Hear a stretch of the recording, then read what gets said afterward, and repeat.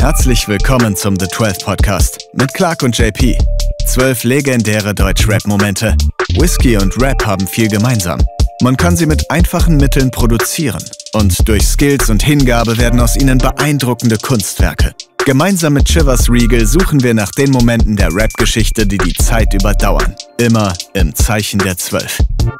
Herzlich willkommen zu einer neuen Folge The 12 Podcast. JP, Clark, wir Was sitzen geht? hier und sprechen dieses Mal über einen Moment, in dem zwei Mädels äh, wortwörtlich äh, eine Tür eingetreten haben. Vom Allerfeinsten.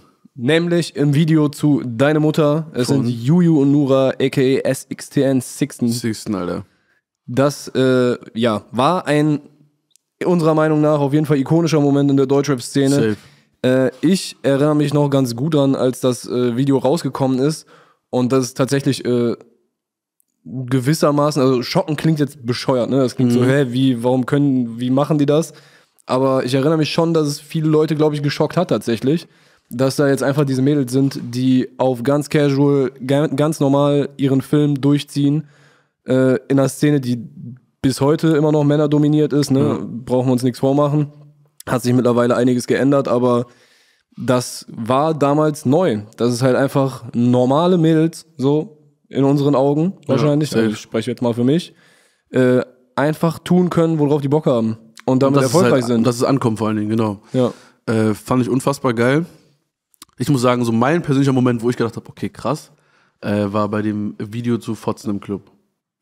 Ich weiß nicht, ob du dich da noch erinnern kannst. Es ist eigentlich am Ende des Tages ein Partyabend von den Mädels gewesen, wo Mhm. die einfach irgendwie gesagt haben, komm, wir filmen jetzt einfach mal einen Abend, wie wir uns richtig einen reinsaufen und durch Berlin gehen und äh, Session machen. Das Video habe ich gar nicht so am Schirm. Bro, das Video ist unfassbar. Also es ist eins meiner Lieblings-Deutschrap-Musikvideos. Einfach, weil es so simpel von der Idee her ist, aber so geil umgesetzt worden ist. Also musst du dir auf jeden Fall nochmal angucken. Okay. Äh, ich glaube, das ist alles so auf so Snapchat-Basis gefilmt, einfach nur, also so mit Handy. Ja. Keine richtigen Kameras. Ja. Und dann siehst du, wie so Nura so an der Bar steht und dem keiner so ins Gesicht lächelt und dann so, so eine Flasche Schnaps klaut und so und dann so wegrennt und so. So unfassbar geiles Video. Irgendwie so die beiden Mädels mit ihren Freundinnen, ich glaube so zehn, zehn Mädels und dann haben die einfach Berlin hochgenommen in einem Abend. Okay. So. Äh, ja. Unfassbar geil. Also Action gibt es natürlich auch um deine Mutter-Video. Ja. Äh, also ich meine, Da gibt's auch richtig Action. da sind wir jetzt halt noch ein bisschen eher, weil das quasi der Auftakt, äh, Auftakt Genau. zu Sixten war. Äh, auch mit Mädels, die da äh, einfach, äh, nicht nur Mädels, ne, halt auch Jungs, die einfach da äh, einen guten Abend haben. Ja. Ähm, ich gehe mal davon aus, es war bei Maxim von KIZ in der Wohnung, weil in den Credits zu dem YouTube-Video steht halt Special Thanks to so und so und so und so. Mhm. Und an den wilden Mob in Maxim seiner Wohnung. Also, weiß nicht, welcher Maxim soll es sonst gewesen sein, ne?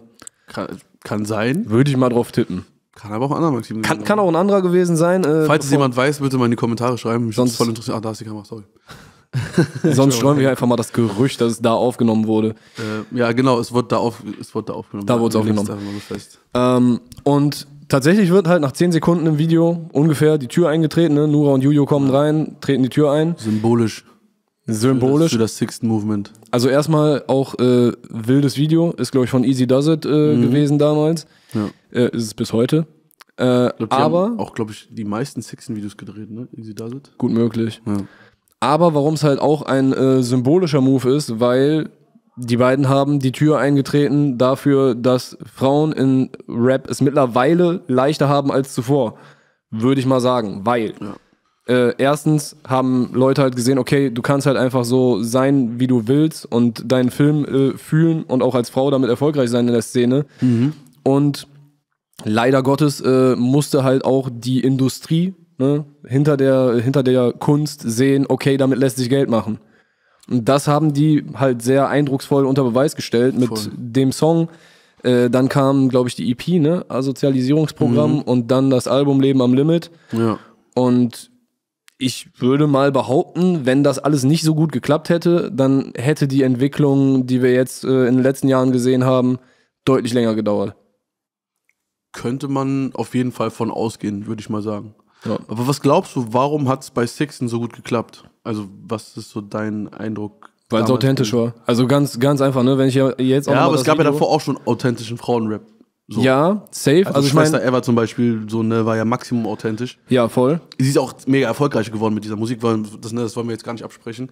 Aber ich glaube, es hatte nochmal, Sixten hat halt nochmal einen anderen Impact allgemein auf die, auf die Rap-Szene und wie vor allem Labels dann mit Female Artists in Zukunft umgegangen sind. Würde ich sagen, weil es halt, äh, ja, okay, Authentizität, nicht alleine das, sondern die Authentizität, Authentizität von halt normalen Mädels. So, die, Ja. die smoken, die einfach feiern wollen und so, ne? Ich meine, Eva ist auch authentisch. Ja. Und äh, aber ich glaube, mit der können sich nicht so viele Mädels dann so einfach identifizieren. Ne? Also die, hat, die hat ja. einfach ein so geistiges Leben durch Ja. äh, und rappt ja dann auch darüber. Safe. Und wenn du halt irgendwie die Mädels hast, die über ihr Bonzimmer äh, rappen oder so weiter, Auch ein schöner Song übrigens.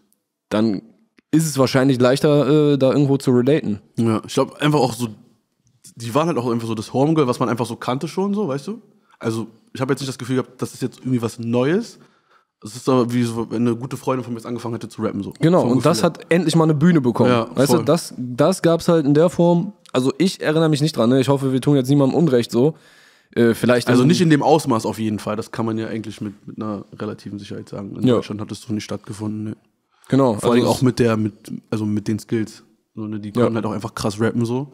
Konnten krass performen. Ich weiß noch, die Splash-Live-Auftritte, die man sich dann so angeguckt hat auf YouTube. Also die haben ja auch unfassbar eine Bühnenpräsenz gehabt, so zu zweit. Ja. Also auch einzeln auf der Bühne, aber ich fand die in der Kombination, fand ich das schon sehr, sehr geil. War es ja dann auch ein bisschen so, halt, das ist ja auch so Gesichter dieser New Wave. Also New Wave ist jetzt vielleicht noch ein bisschen eher so in den letzten Jahren gewesen, aber Mhm. einer neuen Generation, ne, unserer Generation, würde ich mal sagen, auch Wo es eh so ein bisschen lockerer einfach war und es nicht mehr so ganz. ja, wo halt äh, Rap-Konzerte auch einfach Party sind und Genau. nicht mehr einfach nur der hier. Und dann wieder von vorne. Ja, und äh, Saufen, Kiffen, Action, so. Voll. Das äh, war, glaube ich, schon ein großer Teil dieses Erfolgskonzepts, äh, dass das äh, am Ende alles so funktioniert hat, wie es funktioniert hat. Wie, war- wie, oder wie hat Sixten, als du das das erste Mal so für dich gesehen hast, wie hat es auf dich gewirkt so? Ja, nice. Also das ist genau der Punkt, äh, wo ich mir, wo ich auch gerade meinte, was wahrscheinlich das Erfolgsrezept ist. Also du hast den Mädels halt direkt abgekauft, was es ist. Nicht nur den Mädels, sondern der ganzen Crew, die auch dann auf der Party so dabei ist, ne? Die haben es alle gefühlt. Voll. Und das ist eigentlich für mich häufig so ein Aspekt bei Rap, wenn ich das Gefühl habe, die Leute fühlen, was die machen, dann, dann kann ich das auch respektieren, wenn es nicht meine Mucke ist. Also, ne, Voll. ich will jetzt ja nicht sagen, dass das nicht meine Mucke ist. Ich habe es wahrscheinlich nicht so oft gehört wie du vielleicht, keine Ahnung. Aber äh, bei ein paar Leuten habe ich halt manchmal das Gefühl, die machen es nur um, ich muss jetzt noch ein Album machen. Ich will jetzt abcashen. Ne? ja, ja. Äh, ja, hier die Single, die wird funktionieren. Ich mache das jetzt und ich mache es auch nochmal im Zweifelsfall genauso. Äh, aber bei denen hat man halt das Gefühl gehabt, ey, guck mal, die machen schon länger Mucke und die haben jetzt anscheinend einen professionellen Rahmen dafür irgendwo geschaffen, sehen vielleicht auch einfach, dass der Zeitpunkt gekommen ist, dass es funktionieren kann und dann haben sie es halt so auf den Weg Ich gebracht. glaube halt gerade, weil es halt nicht so eine sichere Sache war, dass es funktionieren kann. Also, weißt du, es war ja nicht absehbar, dass genau diese Kombination jetzt voll durch die Decke geht. Ja, die Tür war noch zu. Genau. Und Die musste ich glaub, werden. Das Ding gepaart mit der Ignoranz, gepaart mit den, okay, die können auch krass rappen, war für mich so das Ding, okay, Alter, heftig. Ja, ja stimmt. Hab- ey, auch, dass das eigentlich so eine Diskussion war, ne? dass, dass äh, Dass die, dass Leute darüber gesagt haben, ah, guck mal, ja, aber die können ja wirklich rappen. So, als wäre es halt irgendwie unlogisch, Ja, dass ja. Frauen nicht rappen. also, so safe. so, das, und daraus hat sich halt echt noch einiges entwickelt. Also, ich glaube, dass so eine Bad Moms Jays wahrscheinlich schwerer gehabt hätte, wenn es Sixten nicht gegeben hätte. Ja. Oder halt sehr viele Newcomerinnen, die jetzt in den letzten Jahren so äh, rausgekommen sind, die gerade noch am Hochkommen sind und so weiter. Mhm.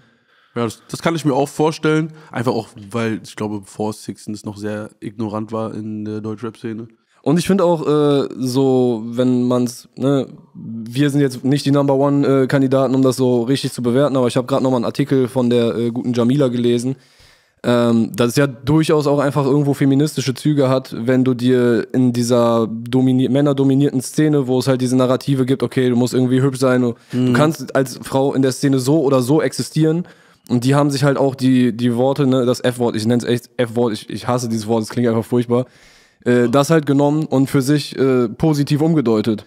Und auch, dass sie halt äh, so einen Song wie, äh, was war es, Hassfrau, wo ja die ganze Zeit nur diese ganzen Klischees, so ein ganzen, umgedreht worden ist. ja, wo halt äh, ja einfach ein Klischee nach Mhm. dem anderen so abgeklappert wird. Aber es hat sich auf diesen Orgi-Song bezogen, glaube ich, ne? Auch? Der hat ja so einen Song. Ja, auf den. Was äh, Ali Schwarzer ja mal vorgelesen hat in dieser das- legendären Sendung. in dem Song äh, ist dieses Ali Schwarzer Ding äh, zitiert, gesampelt so Ah, quasi. okay, okay, okay. Muss ich mir nochmal anhören. Ja. Geil, Alter. Worauf wir aber auch nochmal kommen können, ist, was äh, halt, hatten wir gerade schon mal kurz angerissen, was sich da draus alles entwickelt hat, ne? Also in den letzten Jahren. Aber für mich ist Bad Moms J zum Beispiel eine der größten äh, Deutschrap-Künstlerinnen der letzten Jahre. Dieses Jahr, Das un, un, äh, was braucht man nicht drüber reden, Alter. dieses Jahr, wir haben zum Zeit der Aufzeichnung noch 2022 äh, Nina Chuba komplett rasiert, so als Newcomerin. Aber so komplett von Seite auch, ne? komplett von Seite einmal Dann rein. mal alles mitgenommen. Zack. Voll. Äh, was sag ich? Laila feiere ich, also die feiere ich richtig Laila mies, ne? Die auch. Weil da so ein bisschen, für mich halt auch so ein bisschen dieses Soulige noch mit drin ist, so dieser Vibe in ihrer Stimme, das ist so was, was ich mir wirklich sehr gerne auch anhöre, so. Ja, und auch wie sie reingekommen ist mit äh, Chopper, was halt so sehr dieser new wavige Sound war, den ich, den ich zu der Zeit krass gefühlt habe und auch einfach sehr sympathisch ist sie. Voll. Äh, es sind halt sehr viele in den letzten Jahren rausgekommen, ne? also no front an irgendwen, den wir jetzt nicht gerade erwähnen, aber es ist einfach sehr schön zu sehen, wie das mittlerweile läuft. Safe, safe.